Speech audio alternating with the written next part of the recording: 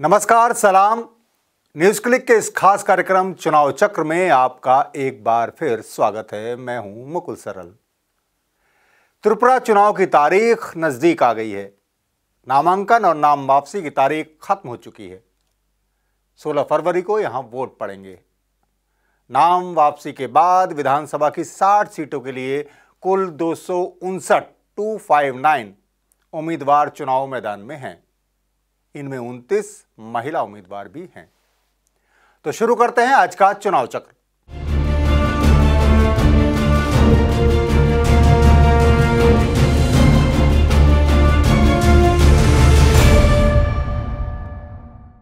तो दोस्तों, जैसा कि हमने बताया कि 60 सीटों के लिए कुल दो सौ उनसठ उम्मीदवार चुनाव मैदान में हैं।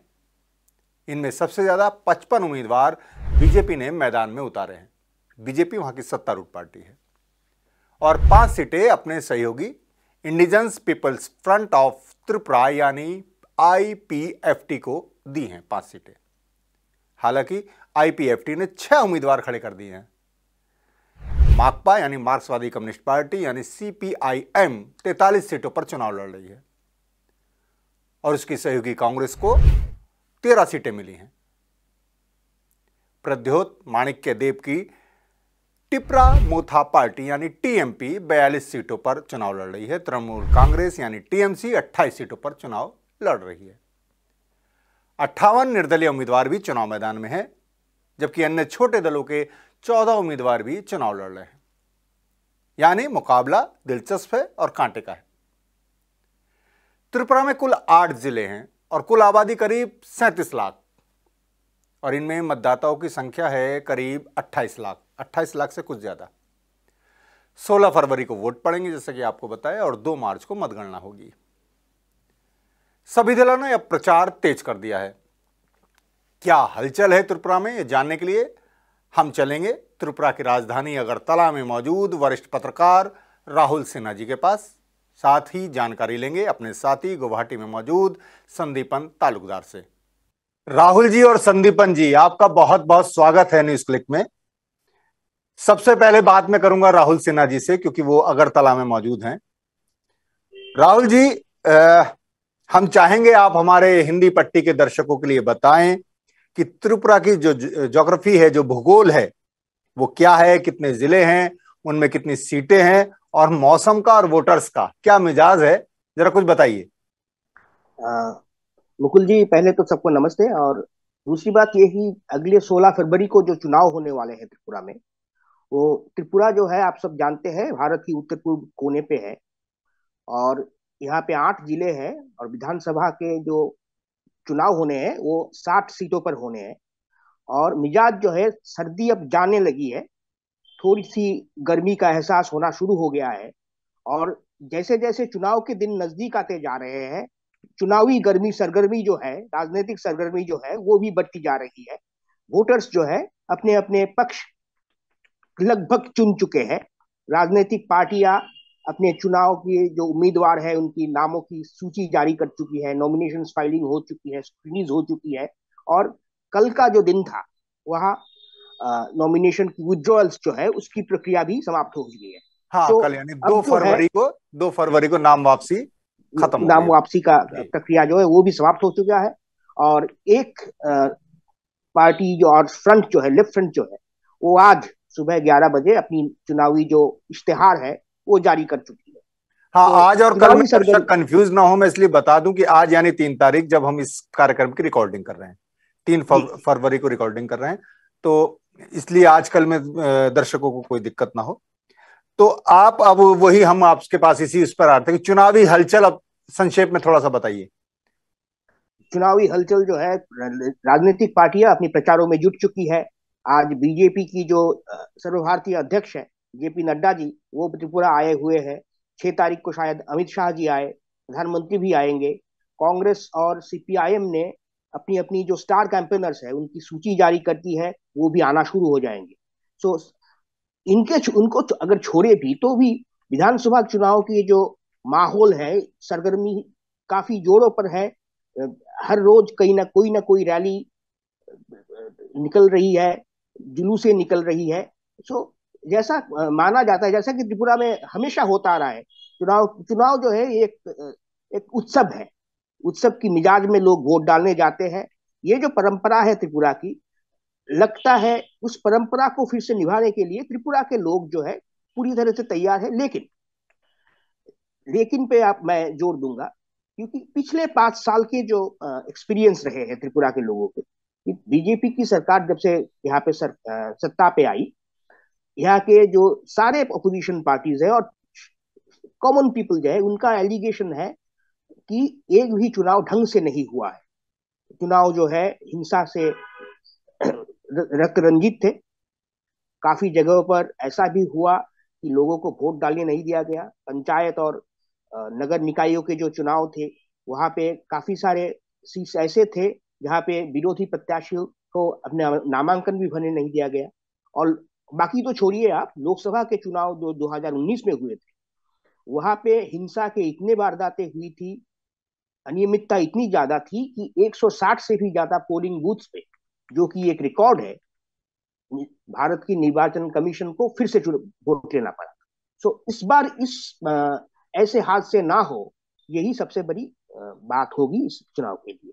चुनाव हाँ, शांतिपूर्ण तो, रूप से? जी मतलब सबसे बड़ी चुनौती ये है अब इस चुनाव की कि वो निष्पक्ष और शांतिपूर्ण ढंग से हो जाएँ ये एक बड़ी बात होगी। जी और जनता जो है अपनी जो मतदान करने की जो अधिकार है वो भय मुक्त परिवेश में वो अपना वो अधिकार पालन कर सकते जी तो चुनाव आयोग को, को इस पर ज़रूर ध्यान देना चाहिए जिस तरह की क्योंकि पिछले चुनाव का अनुभव रहा है। तो मैं फ़र्स्ट कमेंट अब संदीपन से भी ले लूँ। संदीपन क्या हलचल आप हमें बताएँगे ताज़ा नई चुनावों की? कैसे चल रहा है चुनाव त्रिपुरा और आसपास? अन्य राज्य हाँ। नागालैंड। जी। जैसे राहुल जी ने बोले त्रिपुरा में तो पूरा माहौल पीक पे आ चुके हैं क्योंकि जेपी नड्डा जी आ जाए वहाँ पर बीजेपी का आपका चुनाव प्रचार शुरू किया उन्होंने। तो उधर विजय सम्मेलन रैली है ऐसा कुछ नाम के विजय संकल्प रैली आज शुरू किया फिर दो रैली करेंगे। तो बीजेपी ने बोला कि पैंतीस टोटल वो लोग रैलियाँ करेंगे। तो बाकी आप, आपका फिर से वही बातें हैं कि तिकोनिया होने वाला है ये इलेक्शन।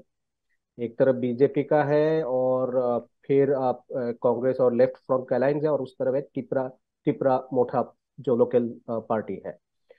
तो आ, आ, बाकी आ, आ, जैसे उन्होंने कहा कि आठ कॉन्स्टिट्युएंसी है त्रिपुरा आठ आठ डिस्ट्रिक्ट है और सात कॉन्स्टिट्युएंसी है। उस सात कॉन्स्टिट्युएंसी में छह कॉन्स्टिट्युएंसी आपका एस टी रिज़र्व है। और मैं आपको मतलब वो चाहूँगा। एस टी रिज़र्व कंस्टिट्यूएंसी जो है ये बीस है। बीस है एस टी रिज़र्व कंस्टिट्यूएंसी और एस टी रिज़र्व कंस्टिट्यूएंसी दस है दस। कुल मिला के। तीस जो तीस कंस्टिट्यूएंसीज एस सी और एस टी के लिए साठ में से तीस। जी। जी। इनमें से बीस जनजातियों के लिए संरक्षित है और दस अनुसूचित जातियों के लिए। जी। आप, आप वही है हाल चाल के अगर बात किया जाए कि अभी जैसे बोले कि कांग्रेस के भी स्टार कैंपेनर्स कौन कौन आएँगे आगे कुछ ही दिनों में आएँगे। आज मैनिफेस्टो लॉन्च हो चुका है लेफ़्ट फ्रंट और कांग्रेस अलायंस का। बाकी टिपरा मोठा का कोई मैनिफेस्टो मेरे जानकारी में अब तक नहीं आया है। और बीजेपी का अपना जो ये मैनिफेस्टो पे भी मैं आऊँगा अभी। राहुल जी कुछ जनता के मुद्दों की बात की जाए क्योंकि आप त्रिपुरा में मौजूद हैं तो जनता के मुद्दे मेन मांग इस चुनाव की की इशू की पॉइंट क्या है? जिस पर जनता वोट करने जा रही है, सोच रही है, सबसे बड़ी मांग या सबसे बड़ी समस्या है सबसे बड़ा मुद्दा क्या है त्रिपुरा का? सबसे बड़ा मुद्दा त्रिपुरा की इस चुनाव की जो है, वो है लोकतंत्र की बहाली। भारत की जो संविधान है, जिसमें हमें लोकतंत्र का दर्जा दिया गया है, जहाँ पे लोग जो है सर्वोपरि होते हैं और उनकी जो अधिकार है, उनकी जो सार्वभौमिकता है वो अपने वोटों के ज़रिए अपने जो प्रतिनिधि वो चुनते हैं उनके ज़रिए ये सार्वभौमिकता की तो राहुल जी एक मिनट में रोकूँगा। सेफ़ डेमोक्रेसी जो लोकतंत्र बहाली की मांग आप कर रहे हैं ये विपक्षी दलों का मुद्दा है या आम जनता का मुद्दा है? बिल्कुल आम जनता का मुद्दा है। इसी इसी यही वजह है कि जो पाँच साल तक एक दूसरे के कट्टर विपक्ष थे कांग्रेस और लेफ़्ट। जी। उन्हें एक जगह पे आना पड़ा। ये ऊपर ऊपर से बना हुआ कोई नेताओं का अलायंस या गठबंधन नहीं है। लोग चाह रहे थे कि बीजेपी को अगर टक्कर देनी है तो सारी जो है लोकतांत्रिक ताकतें जो धर्मनिरपेक्ष ताकतें हैं वो एक जगह पे आए। उसी का नतीजा है कि आप देख रहे हैं कि लेफ़्ट फ्रंट और कांग्रेस एक साझा जी ये सेकुलर डेमोक्रेटिक फोर्स नाम दिया गया है इस फ्रंट को। जी जी। एनडीए के मुकाबले में एस डी एफ़ इसमें कम्युनिस्ट पार्टी भी है हालाँकि हालाँकि ऐसा कोई फ्रंट तो नहीं है लेकिन आ, ये बिल्कुल तय है कि कांग्रेस और लेफ़्ट पार्टी जो है चुनावी तालमेल के साथ लड़ेंगे और वही उनका कहना है और जनता का भी मानना है कि यही एक ताकत है जो बीजेपी को इस चुनाव में टक्कर दे सकती है। और दूसरी बात यह है कि जो चुनावी वादे पाँच साल पहले बीजेपी ने किए थे ये अपोजिशन की भी बात है और जनता की जो एक्सपीरियंस है वो भी है कि दो सौ निन्यानबे वादे थे उनके विजन डॉक्यूमेंट उनके, लोगों का कहना है कि ये जो वादे हैं, ये बस जुमलेबाजी थे, कोई भी वादा पूरा नहीं हुआ। सो लोग जो है देखना चाहते हैं कि इस बार लेफ़्ट और कांग्रेस वाले क्या करते हैं और कैसे इसका टक्कर, इसे टक्कर देते हैं। तो राहुल, जैसे संदीपन भी कह रहे थे, अभी कुछ मैनिफेस्टो आ गए हैं। और कुछ अभी आने जा रहे हैं तो जो मैनिफेस्टो आए हैं वो किस किस कौन कौन अपना घोषणा पत्र ले आया और उसमें मुख्य वादा उसने क्या किया है? पहली पहली बात तो है कि सिवाय लेफ़्ट फ्रंट के अभी तक किसी ने अपना घोषणा पत्र जारी नहीं किया है। जी। शायद बाकी पार्टियाँ एक दो दिन में जारी कर कर देगी।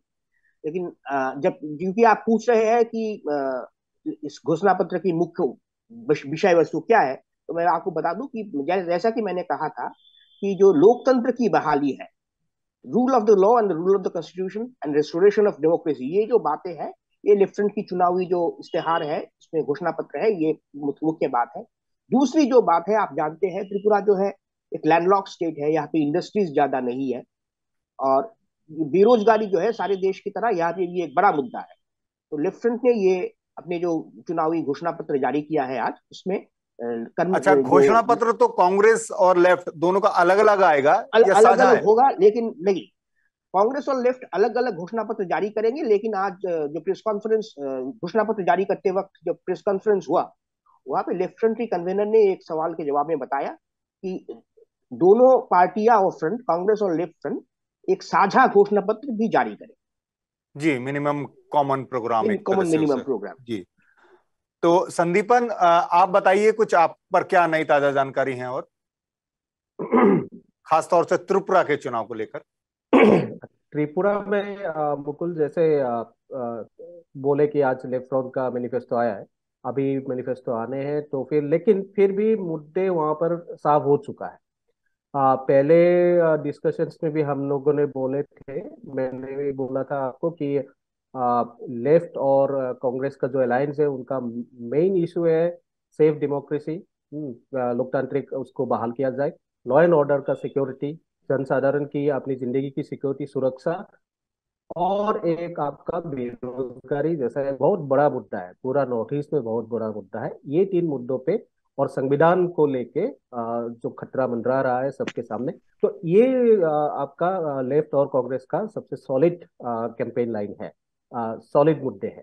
बीजेपी का बहुत ज़्यादा खास हमको समझ में नहीं आया था। पहले भी हमने बोले थे कि घर घर जाके उन लोगों ने बोले थे कि जनता से हम लोग वो लेंगे फीडबैक लेंगे। अभी तक समझ में नहीं आ रहा वो लोग क्या कर रहे हैं। तीसरा आपका टिपरा मोठा उन लोगों का भी एक क्लियर है। हालाँकि टिपरा मोठा में आप दो तीन चीज़ें, जैसे सीपीएम के, जितेंद्र चौधरी के साथ भी प्रद्युत मानिक को जो उसका चीफ है पार्टी चीफ तो उनकी भी बातचीत हुई थी अलायंस वगैरह के लिए। हालाँकि कोई भी अलायंस उसमें संभव नहीं हुआ।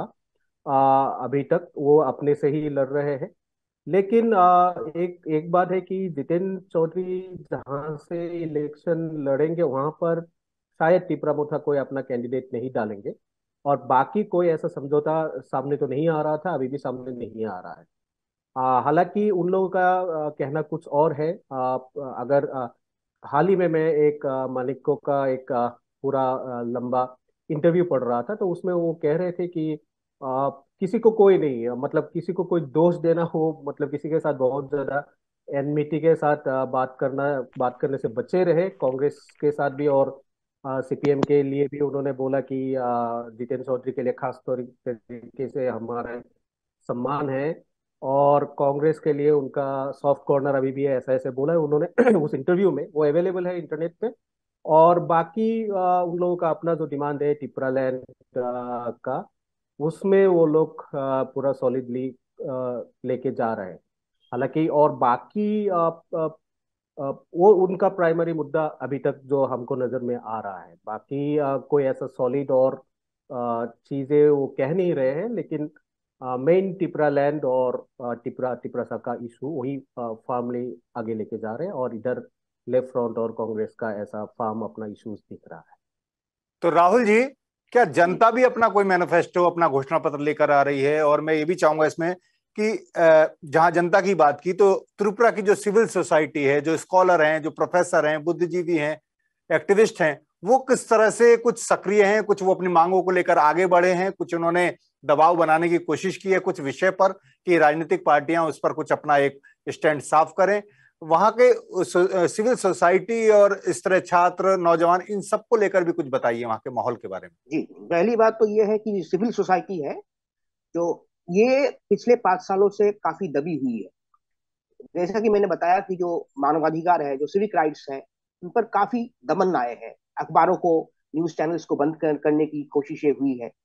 मैं ये बताना चाहूँगा कि मैं जिस अखबार में काम करता हूँ उसे नौ दिन तक बंद रखा गया। ऐसे बहुत से टीवी चैनल्स हैं जिनको बंद कर दिया गया क्योंकि से सरकार के क्रिटिक्स थे। और ये जो बात है ये कम से कम पचास से ज़्यादा हमले की घटनाएँ हुई है पत्रकारों की त्रिपुरा में अकेले अकेले त्रिपुरा में। और ये जो बात है पहले जो आ, हमले की घटनाएँ थे वो ऑपोजिशन पे सेंटर्ड थे। लेकिन धीरे धीरे ये सिर्फ़ पहले लेफ़्ट पे थे, फिर लेफ़्ट के बाद कांग्रेस कांग्रेस पे, कांग्रेस के लोगों पे हमले होने लगे, मोथा के लोगों के हमले होने लगे, पत्रकारों पे हमले होने लगे। आम जनता जो है, जो भी इस सरकार के खिलाफ कुछ भी कहना चाहती है, कोई आवाज़ उठाना चाहती है, उसे दबाने की एक कोशिश की गई है, जिसकी यही वजह है कि जो सिविल सोसाइटी, जैसा कि आप कह रहे थे सिविल सोसाइटी है, उनके एक प्रतिनिधि इस बार चुनाव में खड़े हो रहे हैं इंडिपेंडेंट कैंडिडेट के रूप में। और देखने वाली बात यह है कि जो लेफ़्ट और कांग्रेस है दोनों पार्टियों ने इन्हें समर्थन दे दिया है और मोथा ने भी इन्हें सपोर्ट किया है। तो ये, इससे इससे ज़ाहिर होता है कि जो त्रिपुरा के जो बुद्धिजीवी संप्रदाय है, जो वकील है, अध्यापक है, उनमें से बड़ा उनका जो बड़ा तबका ये चाहती है कि ये लोकतंत्र जो है, मानवाधिकार जो है सिविक राइट्स जो है इसे बहाल किया जाए। अच्छा मानवाधिकार में या वहाँ के हालात में मुख्यमंत्री का बदलना कुछ काम आया क्या बीजेपी को? या वहाँ की जनता को कुछ राहत महसूस हुई या वही एक कंटिन्यूटी है? देखिए बात तो यही है कि लोग कहते हैं कि मुख्यमंत्री बदला है लेकिन हम हम हम लोग कहते हैं और त्रिपुरा की जनता ये कहती है कि सरकार तो एक ही है। दिशा एक ही है पार्टी एक ही है so this is just a cosmetic change बल्कि मैं तो कहूँगा कि पहले पहले के मुख्यमंत्री अनाप शनाप कुछ कहते थे जिससे इंटरनेट में काफ़ी वो छाए भी हुए थे लेकिन अब के जो मुख्यमंत्री है वो एक पढ़े लिखे लोग है डॉक्टर है। तो इनका तरीका इनसे इनसे तो अलग होगा। लेकिन नतीजे जो है वो अमूमन एक ही है। छात्र नौजवान किस तरह से वहाँ सक्रिय हैं? क्या है कॉलेजों में बातचीत? बिल्कुल आप आप ये बात देखिए कि यहाँ पे जो मैंने पहले भी कहा कि बेरोजगारी यहाँ का एक मुख्य मुद्दा है। ये नौजवान जो है इन्हें पिछले चुनाव से पहले ये आश्वासन दिया गया था कि पहले ही साल में पचास हज़ार नौकरियाँ दी जाएँगी सरकारी नौकरी। जी। कि लेकिन हालात अब ये है कि जो जो कर्मचारी पहले से काम कर रहे हैं उन्हें ये वादा किया गया था कि सातवें वेतन कमीशन जो सिफारिश है वो लागू की जाए। लेकिन हुआ ये है कि सातवें वेतन कमीशन की सिफारिश तो लागू नहीं हुए हुए नहीं हालाँकि वेतन थोड़े से बढ़े हैं लेकिन जो यूनिवर्सल पेंशन सिस्टम थी ओल्ड पेंशन सिस्टम थी उसको रद्द कर दिया गया और नई पेंशन स्कीम जो है वो लागू कर दिया गया। जी मैं इसी तो को पूछ रहा था वहाँ भी क्या ओल्ड पेंशन स्कीम कोई मुद्दा है? बिल्कुल बिल्कुल। कर्मचारियों की बहुत बड़ा मुद्दा है। वादा ये था कि सातवें वेतन कमीशन का जो सिफारिश है वो लागू करेंगे लेकिन हालात ये है कि आप अगर आप आंकड़े देखें तो लेफ़्ट फ्रंट की जो पिछले रिफ्टिंग जो थी वो हर साल दो दो दफे महँगाई भत्ता जो है जारी कर दी अमूमन पैंतीस से चालीस चालीस प्रतिशत महँगाई भत्ता हर साल कर्मचारियों को मिलते थे। तो इस बार जो है पूरे जो कार्यकाल तो राहुल जी आखिरी आखिरी कमेंट आपका लूँगा कि चुनाव आप किस तरफ़ बढ़ता देख रहे हैं? चुनाव मैं आपको पहले भी जो मैंने टिप्पणी की वही पे मैं कायम रहूँगा। अगर जिस तरह के चुनाव होने चाहिए निष्पक्ष भयमुक्त और शांतिपूर्ण। अगर ऐसा चुनाव हुआ तो इस बार हमें लग रहा है और काफ़ी सारे लोग हमसे सहमत भी है कि जनता इस बार तैयार है इस सर, इस सरकार को सत्ता से निकालने इसके बाद कौन सी सरकार आएगी ये बात की ये अलग है हम हार जीत का कोई अभी हम कोई फैसला या अनुमान नहीं लगाते। लेकिन जनता का मूड ये बता रहा है कि वो इस सरकार से खुश नहीं है और ठीक ठाक चुनाव होते हैं तो बदलाव की संभावनाएँ संदीपन आपसे आखिरी कमेंट ओवरऑल जो तीन राज्य हैं चुनाव के त्रिपुरा के साथ मेघालय और नागालैंड एक आखिरी कमेंट आपसे भी लेंगे कि कैसा उन दीगर दो राज्यों में क्या हलचल है वो जरा सा हमें बताएँ। हाँ मेघालय में भी आपका बहुत क्लियर नहीं है अभी। आ, क्योंकि pre pre pre poll alliance नहीं हुआ। पहले जैसे एनपीपी और बीजेपी का अलायंस में कौनराज चांगमा के नेतृत्व में वहाँ पर सरकार थी। तो अभी बीजेपी अकेले सात सिक्सटी कॉन्स्टिट्युएंसी जो है, मेघालय में सभी में अपना कैंडिडेट देंगे। और बाकी एनपीपी अपने से लड़ रही है। फिर टीएमसी का मुकुल सांगमा, उनका भी स्टेक है।